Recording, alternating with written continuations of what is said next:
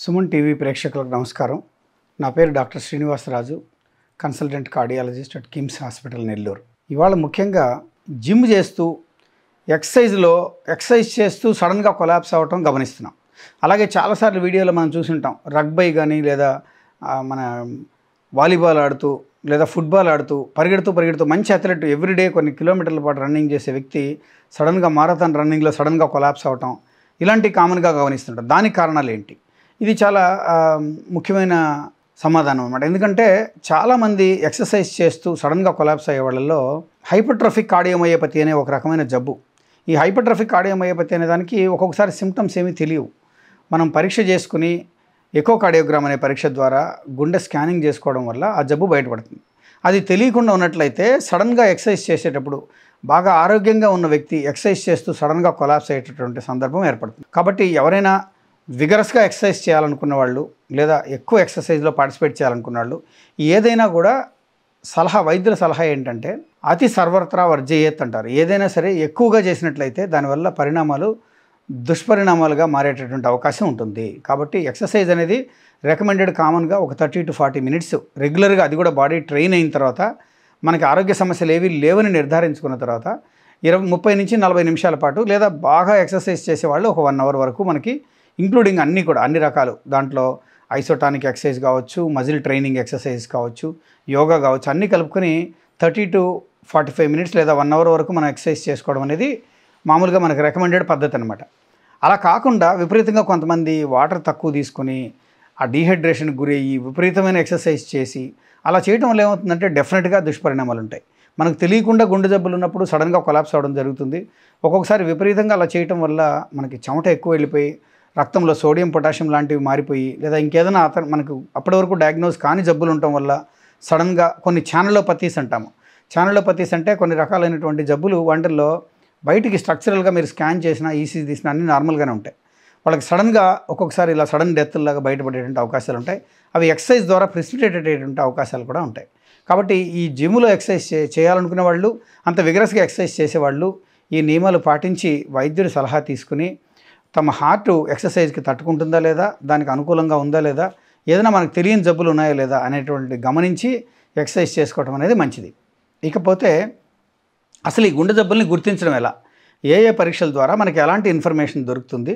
మనం ఎలా ఈ గుండె జబ్బుల్ని గుర్తించాలి అనేటువంటి విషయానికి వచ్చినప్పుడు సాధారణంగా మొట్టమొదట వైద్యులు చేసేది ఏంటంటే మీకున్నటువంటి లక్షణాలు ఏంటి ఇప్పుడు నేను చెప్పినటువంటి మీకు బీపీ షుగరు తర్వాత స్మోకింగు ఆల్కహాలు ఎక్సర్సైజ్ చేయడము తర్వాత కొలెస్ట్రాల్స్ ఎలా ఉన్నాయి ఫ్యామిలీలో ఎవరికైనా హార్ట్ ట్రబుల్ ఉందా ఇవన్నీ కూడా అందరిని అడగడం జరుగుతుంది. అవన్నీ హిస్టరీ తీసుకున్న తర్వాత వాళ్ళకి కొన్ని వాళ్ళ యొక్క జబ్బులను బట్టి వాళ్ళకు ఉన్నటువంటి మిగతా ప్రాబ్లమ్స్ని బట్టి వాళ్ళకు కొన్ని నెసరీ పరీక్షలు చేయడం జరుగుతుంది. అందులో ముఖ్యంగా ఈసీజీ ఈసీజీ అనేదానేటువంటి ఉపయోగం ఏంటంటే ఈసీజీ ద్వారా మనకి ఆ వ్యక్తి యొక్క హార్ట్ బీటింగ్ ఎంత ఉంది పల్స్ రేట్ ఎంత ఉంది హార్ట్ రేట్ ఎంత ఉంది తర్వాత హార్ట్లో ఉన్నటువంటి గదులు ఎన్లార్జ్మెంట్ ఏమైనా ఉన్నాయా హార్ట్కి సంబంధించి ప్రస్తుతం ఆ ఈసీజీలో గుండెకి రక్తం సప్లై తగ్గినట్లు ఏమైనా తెలుస్తోందా? లేదా హార్ట్ అటాక్ వచ్చినట్లు ఏమైనా ఈసీజీలో తెలుస్తోందా? లేదా నేను ఇందాక చెప్పినట్టు గుండె వేగం విపరీతమైన స్పీడ్ కానీ లేదా విపరీతమైన స్లోగా వెళ్ళటం కానీ ఉంటే అందులో ఈసీజీ ద్వారానే అది డయాగ్నోస్ చేయడం జరుగుతుంది. సో ఇవ వీటన్నిటిని కూడా ఈసీజీ ద్వారా కనుక్కోవడం జరుగుతుంది. అలాగే ఈసీజీ తర్వాత టూ డీ ఎకో కార్డియోగ్రామ్ అని అంటే two D cardiogram and colour Doppler అనే పరీక్షలో ఏం తెలుస్తుందంటే గుండె యొక్క గదులు ఆ గదుల్లో ఏమైనా ఎన్లార్జ్మెంట్ ఉన్నాయా? లోపల హార్ట్ చేంబర్స్ ఏమైనా పెరిగాయా? లేదా లోపల గుండెకి సంబంధించినటువంటి కవాటాలు? గదులు నాలుగు గదుల మధ్య కవాటాలు ఉంటాయి. ఆ కవాటాల్లో ఏమైనా వాల్వ్ లీకింగ్ ఏదైనా ఉందా? ఉంటే వంటి తీవ్రత ఎంత ఉంది? హార్ట్ అటాక్ వచ్చిన తర్వాత గుండె ఎంత డ్యామేజ్ అయింది? హార్ట్ ఎన్లార్జ్మెంట్ ఏదైనా ఉందా? అలాగే హార్ట్లో ఒక్కొక్కసారి బ్లడ్ క్లాట్స్ ఫామ్ అవుతాయి హార్ట్ అటాక్ వచ్చిన తర్వాత. అలాంటి క్లాట్స్ ఏమైనా ఫామ్ అయినాయా? అవి గుండె నుంచి మెదడుకి వెళ్ళి ఏమైనా స్ట్రోక్ వచ్చేటువంటి అవకాశాలు ఉన్నాయా? ఇలాంటి ఇన్ఫర్మేషన్ అంతా కూడా టూ ఎకో అనే పరీక్షలో తెలుస్తుంది. టూ ఎకో అయిన తర్వాత కొంతమందికి ఈ పెయిన్ హార్ట్దా లేకపోతే హార్ట్కి సంబంధించింది కాదా అని తెలుసుకోవడం కోసం వాళ్ళకి ఎక్సర్సైజ్ స్ట్రెస్ టెస్ట్ అంటాము. లేదా ట్రెడ్మిల్ పరీక్ష అంటాం టీఎంటీ అంటాం ఆ ట్రెడ్మిల్ పరీక్షలో ఏం తెలుస్తుందంటే మనిషి యొక్క హార్ట్ రేట్ని ఎక్సర్సైజ్ ద్వారా పెంచుతాం. పెంచి గుండె వేగం పెరిగినప్పుడు గుండెకి రక్తం సప్లైలో ఏదైనా తేడా ఉందా అనేది చూస్తాం. ఆ ఎక్సర్సైజ్ చేసినప్పుడు కానీ ట్రెడ్మిల్లో గుండెకి రక్తం సప్లై తగ్గుతున్నట్లుగానే వచ్చినట్లయితే ఆ వ్యక్తికి ఎక్సర్సైజ్ చేసినప్పుడు గుండెకి రక్తం సరఫరా సరిగ్గా అందట్లేదు అని తెలుస్తుంది. ఎప్పుడైతే రక్త సరఫరా సరిగ్గా అందట్లేదని తెలిసిందో అప్పుడు అతనికి ఫర్దర్ పరీక్షలు చేయాల్సిన అవసరం ఉంటుంది. ట్రెడ్మిల్ పరీక్ష నెగిటివ్ వచ్చినంత మాత్రాన గుండె జబ్బు పూర్తిగా లేదని చెప్పలేం. ఎందుకంటే ట్రెడ్మిల్ పరీక్ష అనేది ఒక యాభై నుంచి డెబ్బై శాతం వరకు జబ్బును కనుక్కునేటువంటి అవకాశాలు ఉంటాయి. అది నెగిటివ్ వచ్చింది అంటే స్టిల్ ఒక ట్వంటీ థర్టీ పర్సెంట్ మనము హార్ట్ డిసీజ్ ఉండే అవకాశాలు ఉన్నాయి. బట్ మేజర్గా ఆ డెసిషను కార్డియాలజిస్ట్ తీసుకుంటారు. ఇతనికి ట్రెడ్మిల్ నెగిటివ్ వచ్చాక ఇతనికి పాజిబిలిటీ డిసీజ్ ఉండేటువంటి అవకాశాలు ఎంత ఉన్నాయి అవకాశాలు ఎంత ఉన్నాయి అంతటితోనే ఆగచ్చా లేదా ఇంకేదైనా ఫర్దర్ పరీక్షలు చేయాల్సిన అవసరం ఉందా? ఫర్దర్ పరీక్షలు అంటే ఏంటి? కొర్నరీ యాంజియోగ్రామ్ అంటాం.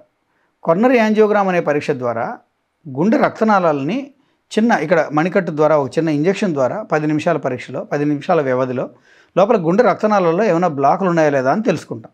గుండె రక్తనాళాల్లో బ్లాకులు ఉన్నాయా లేదా అని తెలుసుకునే ఫైనల్ పరీక్షని యాంజియోగ్రామ్ అంటాం కొరనరీ యాంజియోగ్రామ్ అంటాం.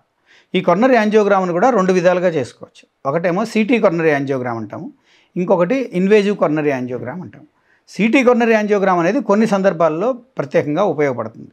ఉదాహరణకి అతనికి జబ్బు ఉన్నటువంటి పాజిబిలిటీస్ తక్కువ ఉన్నాయనుకున్నప్పుడు అతనికి ఏదో భయం ఉంది లేదా మల్టిపుల్ రిస్క్ ఫ్యాక్టర్స్ ఉన్నాయి జబ్బు ఉండొచ్చు అని అనుమానం ఎక్కువగా ఉంది ఉండే అవకాశాలు ఉన్నాయని అనుకున్నప్పుడు సిటీ కొరనరీ యాంజియోగ్రామ్ అనే దాని ద్వారా మనకి రక్తనాళాల యొక్క పొజిషన్ అర్థమవుతుంది.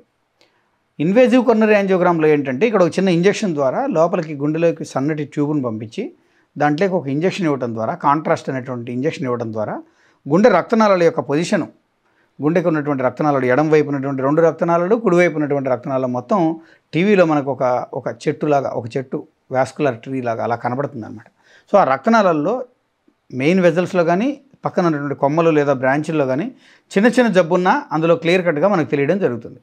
అయితే ఈ యాంజియోగ్రామ్ అనే పరీక్ష గుండెకు సంబంధించిన రక్తనాళాలకు సంబంధించిన కొరనరీ ఆర్టరీ డిసీజ్లో ఫైనల్ టెస్ట్ అనమాట ఈ పరీక్ష ద్వారా ఎప్పుడైతే మనకు జబ్బు నిర్ధారణ అవుతుందో దాన్ని బట్టి అతనికి వైద్యం డిసైడ్ చేయడం జరుగుతుంది. ఏ రక్తనాళంలోనైనా డెబ్బై శాతం కన్నా ఎక్కువ బ్లాక్ ఏర్పడినట్లయితే అంటే అడ్డంకి ఏర్పడినట్లయితే ఆ వ్యక్తికి స్టంట్ కానీ లేదా ఆపరేషన్ కానీ చేయాల్సిన అవసరం ఉంటుంది. ఎక్కువ రక్తనాళాల్లో బ్లాక్ ఉన్నట్లయితే అది యాంజియోప్లాస్టీకి లేదా స్టంట్ పెట్టడానికి అనుకూలం లేనట్లయితే అతనికి సర్జరీ పంపిస్తాం. అదే మెయిన్ రక్తనాళాల్లో లేదా ఒక చోట కానీ రెండు చోట్ల కానీ పెద్ద రక్తనాళాల్లో లేదా మూడు చోట్ల అయినా కూడా ఒక్కొక్కసారి రక్తనాళాల్లో కన్నా బ్లాకులు క్లియర్ కట్గా ఒక చోటే ఉన్నట్లయి మిగతా రక్తనాళాలన్నీ బాగున్నట్లయితే వాటికి స్టంట్లు అమర్చుకోవడం ద్వారా ఆపరేషన్ ఓపెన్ ఆపరేషన్ని అవాయిడ్ చేస్తూ కొన్ని నిమిషాల కాలంలోనే మేబీ అర్ధగంట లేకపోతే ఒక గంట లోపల చికిత్స చేయడం జరుగుతుంది. ఆ వ్యక్తిని ఒకరోజు అబ్జర్వేషన్లో పెట్టుకుని నెక్స్ట్ డే డిశ్చార్జ్ చేయడం జరుగుతుంది. కాబట్టి ఈ వ్యాంజోప్లాస్టీ అవసరమా ఆ వ్యక్తికి లేదా మందులు అవసరమా లేదా ఆపరేషన్ బైపాస్ ఆపరేషన్ అవసరమా అనేది ఈ ఫైనల్ టెస్ట్ అయినటువంటి యాంజియోగ్రామ్ ద్వారా డిసైడ్ చేయడం జరుగుతుంది. ఈ విధంగా ఏ వ్యక్తికి చాలామంది అడుగుతూ ఉంటారు సార్ మనం ఒక ఈసీజీ తీసుకొని జబ్బంతా చెప్పలేమని ఇవన్నీ ఎలా అంటే ఈసీజీలో దొరికే ఇన్ఫర్మేషన్ కొంత ఎకో కార్డియోగ్రామ్లో దొరికే ఇన్ఫర్మేషన్ కొంత ట్రెడ్మిల్లో దొరికేటువంటి ఇన్ఫర్మేషన్ కొంత ఫైనల్గా యాంజియోగ్రామ్లో దొరికేటువంటి ఇన్ఫర్మేషన్ కొంత. ఈ టెస్టుల్లో అన్ని టెస్టులు అందరికీ అక్కర్లేదు. పేషెంట్ యొక్క పరిస్థితిని బట్టి అతనికి ఉన్నటువంటి సిమ్టమ్స్ని బట్టి అతనికి ఏ ఏ టెస్టులు అవసరం అనేది వైద్యుడు నిర్ణయించడం జరుగుతుంది. సో ఆ విధంగా ఈ టెస్టులు చేసిన తర్వాత అతనికి ప్రత్యేకమైన వైద్యం ఏదైనా అవసరమైనట్లయితే ఏదైనా స్టంట్ ద్వారా కానీ లేదా యాంజియోప్లాస్టీ అంటాము యాంజియోప్లాస్టీ ద్వారా కానీ లేదా ఆపరేషన్ ద్వారా కానీ బైపాస్ ఆపరేషన్ ద్వారా కానీ దానికి వైద్యం చేయడం జరుగుతుంది.